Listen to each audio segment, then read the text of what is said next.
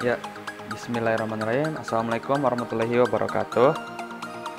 Saya Safwan Azba Pramono dari kelas 11 IPA 1. Saya ingin mempresentasikan tentang tugas individu IKN sebagai bahan untuk penilaian tengah semester praktek.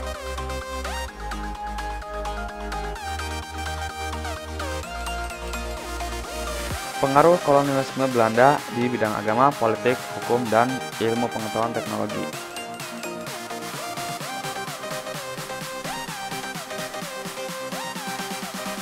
Dampak di bidang agama. Seperti diketahui di Indonesia, ada beberapa agama yang diakui oleh negara. Yang pertama adalah Islam, Kristen, Hindu, Buddha, dan Konghucu penjelajahan yang dilakukan orang-orang Portugis dan bangsa barat, mereka membawa sebuah semboyan, yaitu gold, glory, dan juga gospel.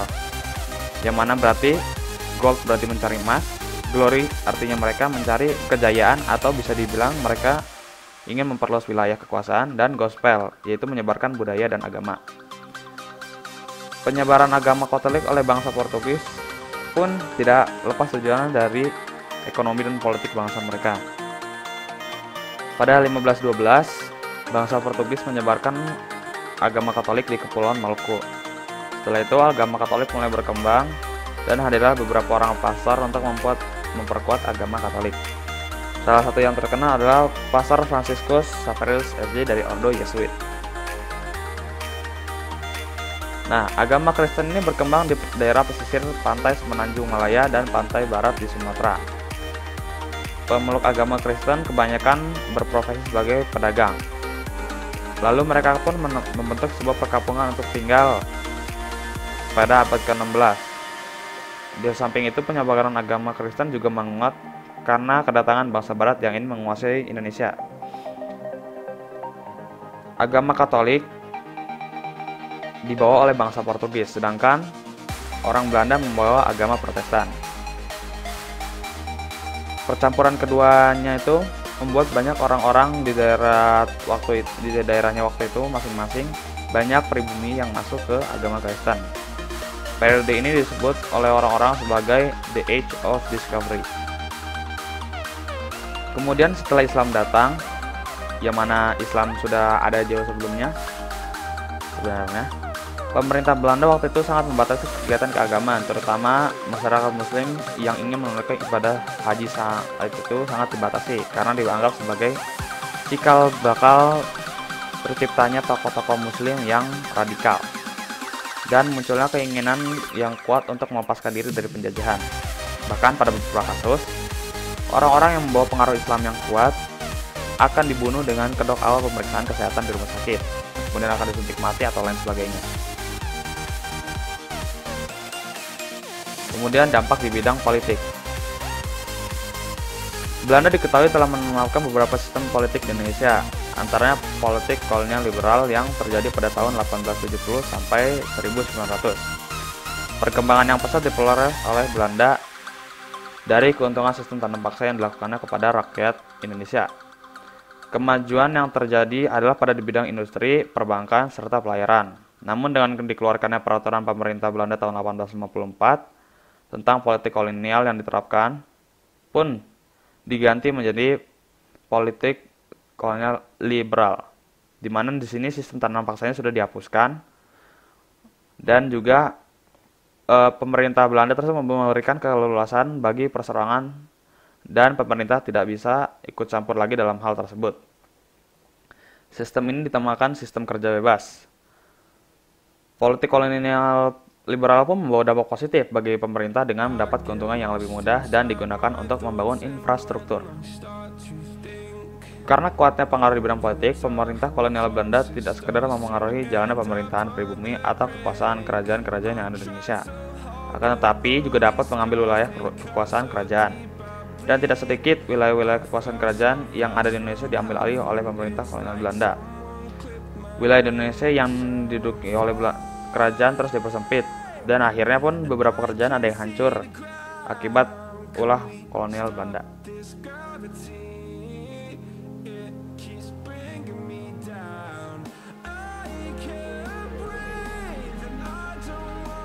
Pengaruh yang terjadi pada rakyat Nusantara. Berikut adalah pengaruhnya. Pertama, pemerintahan kolonial ikut campur tangan dalam pemerintahan kerajaan. Kedua, kedudukan raja terikat oleh struktur pemerintahan kolonial. Ketiga, pemerintah dibentuk dengan sistem sentralisasi yang pusatnya berada di Batavia atau Jakarta. Selain pemerintahan kerajaan, rakyat pribumi juga terkena dampaknya, dan pada masa itu Indonesia dibagi menjadi dua. Sistem uh, yang, yang saya maksud adalah keberadaan rakyatnya dibagi dua, yaitu saat situasi sebelum diadakannya politik etis dan setelah diadakannya politik etis. Sebelum diadakan politik etis, kehidupan masyarakat terbagi menjadi tiga golongan, yang pertama adalah masyarakat kalangan bawah meliputi buruh, pedagang, tukang, dan pekerja rendah lainnya. Kedua, yang merupakan kalangan menengah meliputi petani pemilik lahan dan para pemerintah kolonial Belanda. Ketiga, kalangan atas, yaitu pemuka agama dan para bangsawan. Sedangkan keberadaan setelah dijalankan politik etis, yaitu pada masyarakat Indonesia mulai ditandai dengan adanya kalangan-kalangan pelajar, sampai akhirnya menciptakan Budi Utomo Sumpah Pelajar, uh, maaf, Sumpah Pemuda maksud saya, dan lain sebagainya.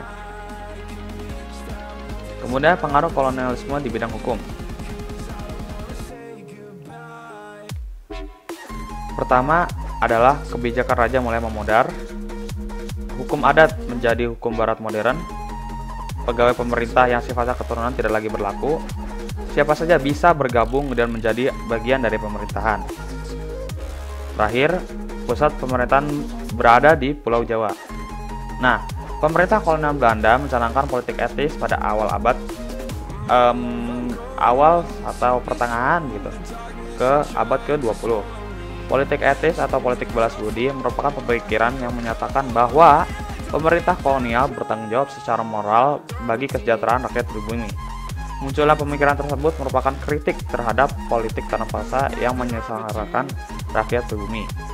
Politik etis yang dipelopori oleh Van Deventer dan Peter Brunswick telah membuka mata pemerintah kolonial untuk lebih memperhatikan nasib pribumi.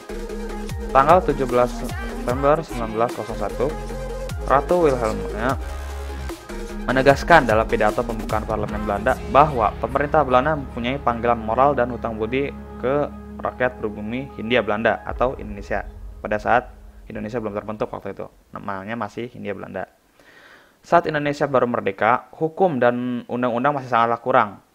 Masih belum adanya ideologi baru, ekonomi, serta tidak adanya hukum substansif pasca 1945. Satu dekade setelahnya, sekitar 1950-an, KUHP pun hampir murni, kecuali beberapa perubahan-perubahan. Contohnya ada Ratu dan Gubernur Jenderal yang telah diubah menjadi Presiden dan Wakil Presiden, serta lain hal sejenisnya.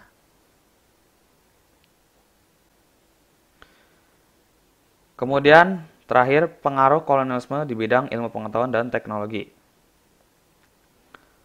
Terjadinya perkembangan dalam sektor informasi dengan ditemukannya mesin cetak dan telegraf, serta ditemukannya alat teknologi perhubungan seperti kapal.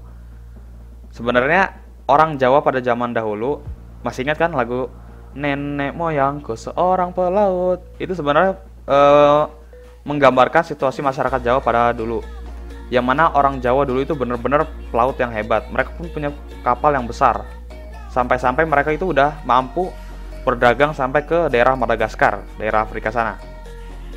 Tapi kemudian setelah kedatangan Belanda, kapal-kapal tersebut dibakar dan dihancurkan sehingga ya mereka nggak bisa pergi-pergi lagi.